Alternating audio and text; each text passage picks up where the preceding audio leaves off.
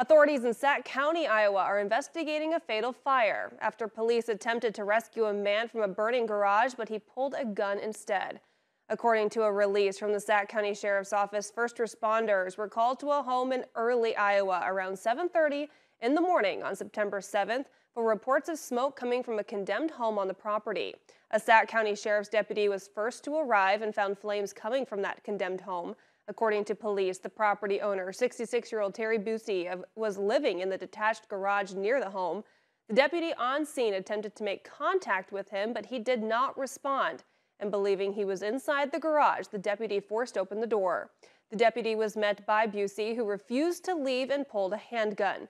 The sheriff's office says he, the deputy backed away, called for assistance as the fire spread to the garage, which quickly became engulfed with Busey still inside. The Iowa State Fire Marshal and the state medical examiner are both conducting an investigation into the fatal fire tonight.